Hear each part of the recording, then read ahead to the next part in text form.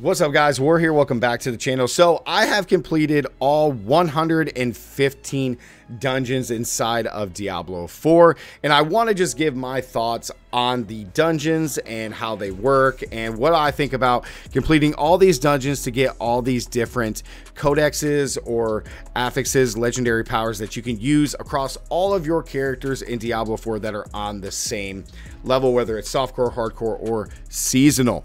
So let's get into this. I have completed all of the dungeons while trying to complete my renown, which is actually really, really cool. So I think the dungeon system inside of Diablo 4 is actually really unique and just really, really fun to do.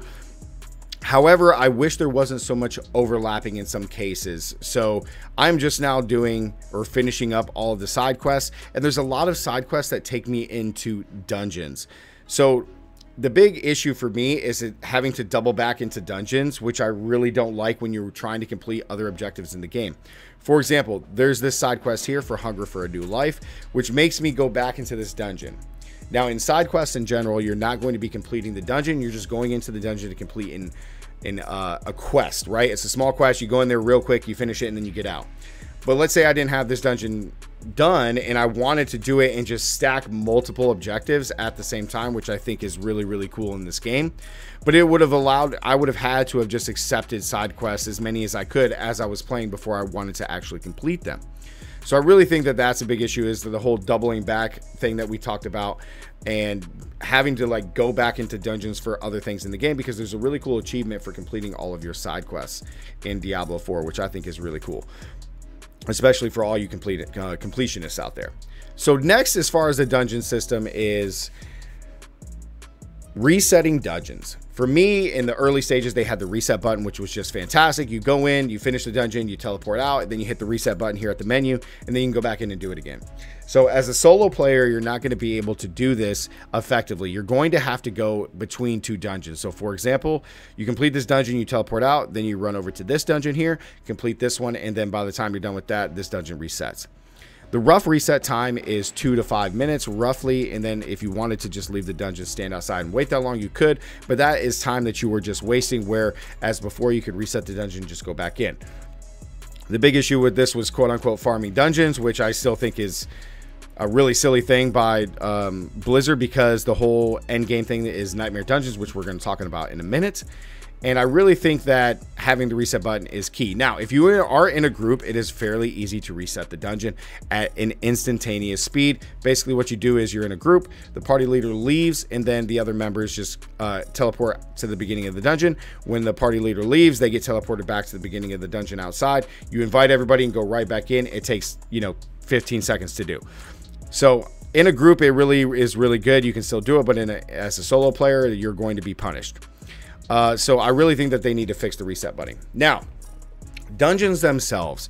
I really do appreciate that Blizzard took the time to kind of reconfigure the layouts of the dungeons, and that way we don't have this backtracking mechanism that is going to happen in the game, which I think is just great. Now, there's still some back backtracking um, instances inside the dungeons, but that's okay. It's not the worst thing that could happen in uh, Diablo 4, but it is kind of a nuisance when you're trying to do things, especially solo, which is why I definitely encourage everybody to do group play if possible. So I love that they fixed that. Now, onto the bread and butter of kind of dungeons themselves and nightmare dungeons. So the end game is all about doing nightmare dungeons. You're going to have these sigils that you're going to find or craft over at the occultist, which is going to allow you to make dungeons tiers higher and just farm them, farm them, farm them, which is going to allow you to level up your glyphs. Okay, this is the end game of end games and what you're going to be doing to level up glyphs and just become stronger and really, really test your builds. I really do like the Nightmare Dungeons as a whole. I love that the dungeon affixes are here and it applies some bonuses to you as the, as the player, as well as some creative things that make the dungeons harder, whether it's a lightning storm, monsters have cold damage, lightning resist, they have um, burn, that they take away your primary resource. So it really makes the dungeons a little bit more challenging. Now, to, to note, the Nightmare Dungeons do not scale with your level. So, for example, I'm level 92. If I was to put the tier 39 in here, every dungeon sigil or Nightmare Dungeon that you do is plus 54 levels. So, if I was going to do this 39, for example, you add 54 levels, that makes it a 93 tier dungeon. So I'm only 92. Now, what if I was to use one that was a 20 or this 41? So now it's a 95 and I'm only a 92. So I really like that it doesn't necessarily scale with your level. So that way you can farm uh, lower level Nightmare Dungeons faster to get through them to level up your, uh, your, um, to level up your glyphs, which is really cool, which is kind of the mirror to doing greater rifts in Diablo 3 when you're trying to level up your legend, legendary gems. So I really like that it doesn't scale. So uh, I find that really, really cool and interesting. And I think Nightmare Dungeons are just an overall win-win uh, for solo players as well as groups. Now, into dungeons themselves when it comes to completing them for codexes. Now, if you want to complete your renown, you're going to have to do dungeons. You get 30 points per side dungeon, which adds to your total amount of your renown, which is just perfect. You want to get all of these bonuses. Really, it's only the, the first three. The obols is kind of whatever, but you definitely want your paragon points points that do transfer over to new characters.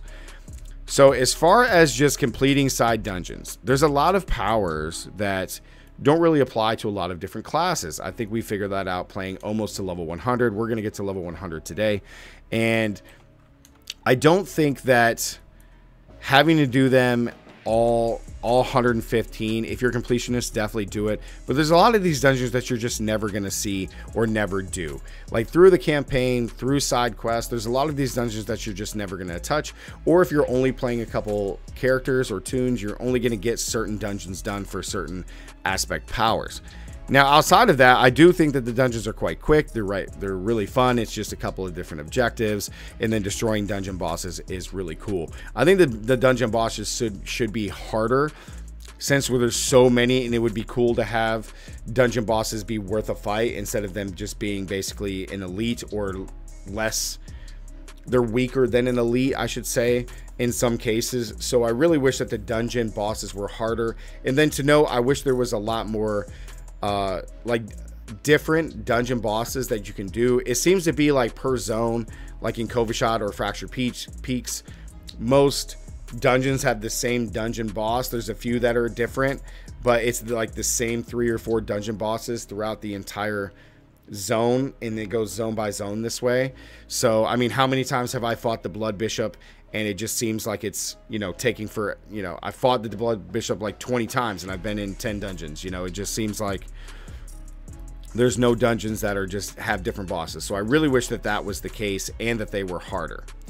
Now, outside of that, uh, I do really like the fact that we figured out a way to maximize completing dungeons for uh, your renown, or as well as just getting the aspects or the codexes for them and doing them in groups and you split into dungeons and it's really really great and then everybody gets that stuff and you finish it so much faster or up to four times faster uh, so I really, I really like that, but it definitely punishes solo players. Uh, it does take a really, really long time.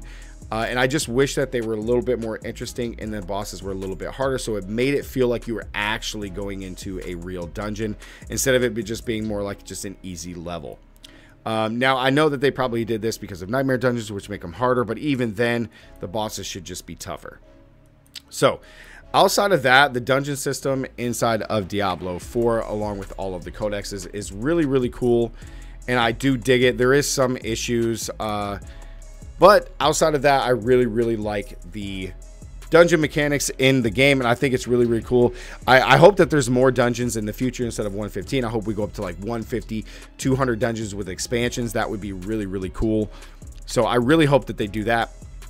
Um, so yeah, guys, that is my thought on completing all 115 dungeons inside of Diablo 4. It has been an absolute journey and a grind, which is just really, really fun. And now I have all of these codexes for every character in softcore, uh, which just makes playing new toons or classes easier, right? Because you get these powers that you can put on stuff right away, which is just super, super fun. And you can just ha start having a blast with new characters. So you had to slug through it the first time with your main character, but now you get to have a lot of fun and have even more fun with more characters. So that is what I think about the dungeon system after playing for about 100 hours in the game, guys. We completed all of the dungeons, and it's just been really, really cool. A little bit more variety would be awesome, but in the end, it's still really, really fun. So like the video, guys. Comment down. Let me know what you guys think about the dungeon system and mechanics inside the game. And make sure to sub if you guys are new. And as always, stay gaming. I'll catch you guys in the next one. Peace.